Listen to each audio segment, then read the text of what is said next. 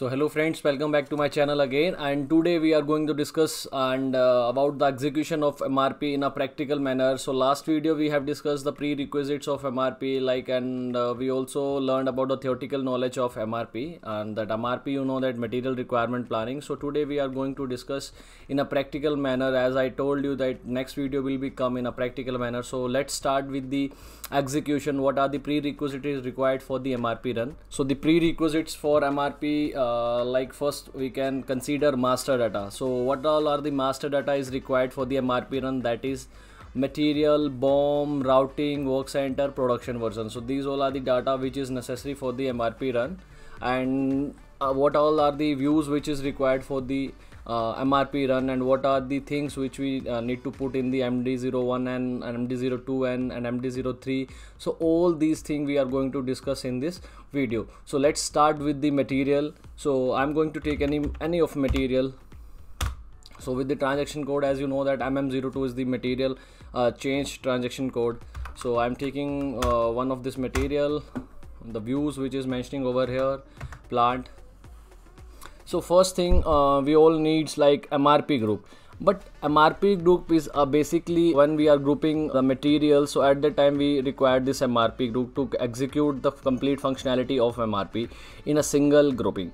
So this we cannot consider right now because we are just uh, going with the simple procedure how we can run the mrp so let's start with the mrp type and what we can also say mrp procedures so the first thing uh, we are going to discuss about the pd like what is pd it's a normal mrp run.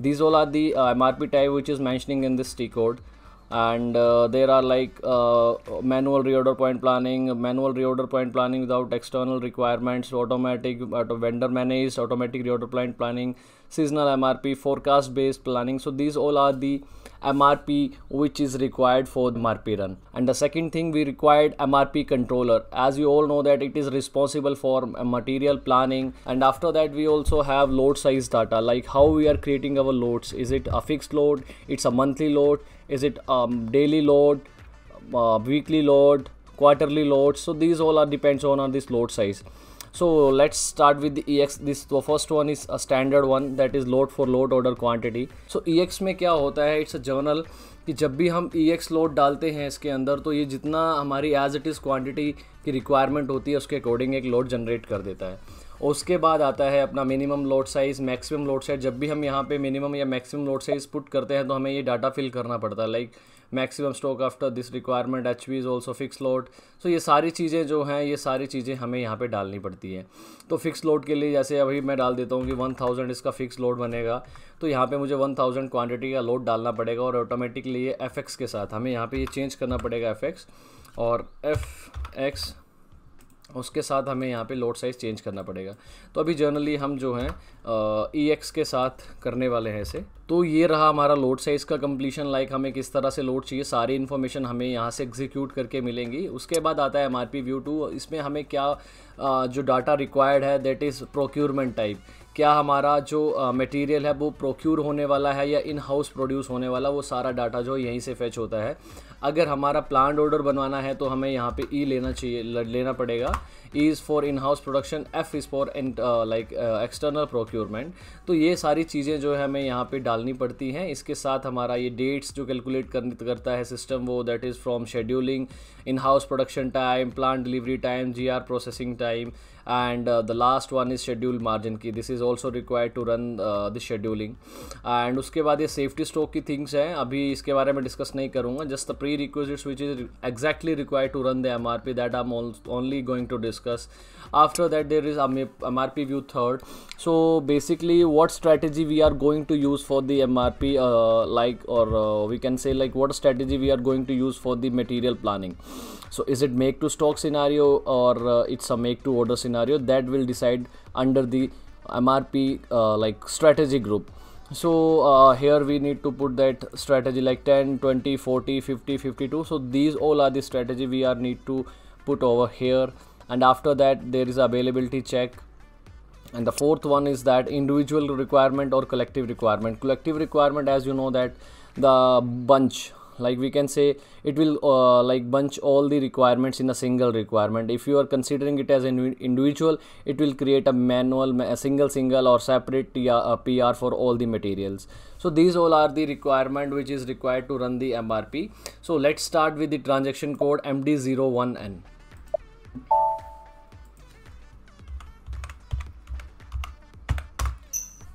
सो ये transaction है M R P live और ये functionality हमें हाना में देखने को मिलती है। तो इसमें पहले क्या होता था कि एम आर पी लाइव का आपको पता ही है कि नॉर्मल एम आर पी चलता था क्लासिकल एम आर पी हम जिसे बोलते हैं और उसमें हमारे पास इतनी फंक्शनैलिटी नहीं थी। लाइक हम ना एम कंट्रोलर के साथ एम आर पी रन कर सकते थे, ना तो अपने प्रोडक्ट ग्रुप के साथ एम आर पी रन कर सकते थे। We only have option for plant and material and after that we also have a uh, like components like uh, i'll share you uh, another screen md02 the difference between two mrps so we also have a processing key nt ntch and then second one is neupl before it was netch netpl and the third one is neupl we in the last like ecc we have three uh, processing keys but now in hana it's only two processing keys and there is no other thing like mrp control uh, mrp controller is not there.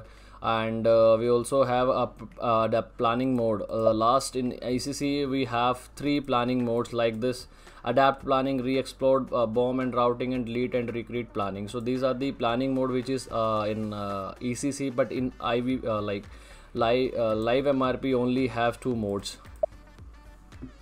so these are the two modes which is in uh, live mrp the adapt planning and delete and recreate uh, planning data. So these are the two things which is in uh, planning mode. For, for the neupl which is uh, regenerative planning so that for that we only have our this tick. So once we activate this regenerative planning it will uh, run for the all uh, like regenerative planning so if you want uh, like BOM is changed BOM component is changed all order BOM components change stock transfer so that we need to put this active over here and then we need to run the mrp so let's start with the material. Gj02 so this is the my planning mode. And now execute so mrp run is uh, like completed. Now we have to check whether there is uh, requirement over in md04 or not. That we have to check in md04 there is no requirement because there is uh, like for this requirement uh, for this material there is no pir or sales order kind of thing. So just uh, i'm just wanted to show you like so now I'm creating a PIR for the material 2000010 so which is the material we have tested for uh, like all configuration. So before going to create a PIR we just going to check the planning strategy. What are the planning strategy we are using for this material? So if it is not there we need to assign one strategy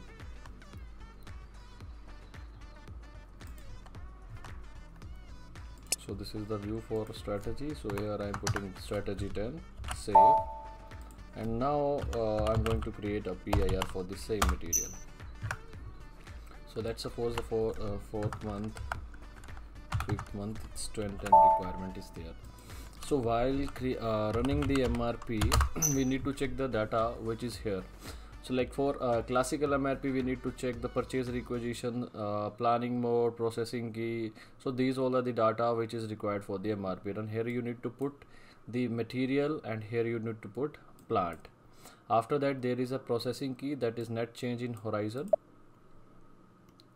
And the second is NEUPL regenerative. Regenerative planning is basically using when we are uh, implement first time MRP and we are rating like hitting it for a complete plant. So now this is for a normal mrp so we need to put this all things over here. So now i'm not going to execute with this requirement but i will uh, use md01 and which is live mrp so this is the plant material. Here i have to put one and that's it. And now run. Execute it so now this is the require uh, stock requirement list is also here. So this is the plan order which is generated material.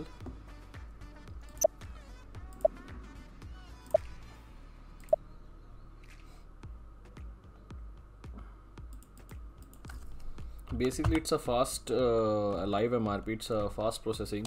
So now md04 so here you get planned orders after the mrp run and for the same raw material we are also going to just here we have to take check like which is the raw material is assigning for the material that is 1001 but the stock is there so that is the reason there is no PIR for this material. If stock is not there then it will create a PIR for the same material while uh, after the MRP run so this is the complete video of mrp run and uh, next video i'm going to uh, share you the and in the next video i'm going to share you the different different scenario of uh, mrp type and load size procedure like how it will be react after the mrp run once we have updated with the manual reorder point planning normal mrp load size fixed load size maximum uh, replenishment to maximum stock and uh, minimum stock these all are the data i will uh, execute in next video so so, जो भी बंदे अभी नए हैं इस video के लिए please इस चैनल को सब्सक्राइब करें लाइक करें शेयर करें और thank you so much for the existing subscribers thank you so much thank you so much have a good day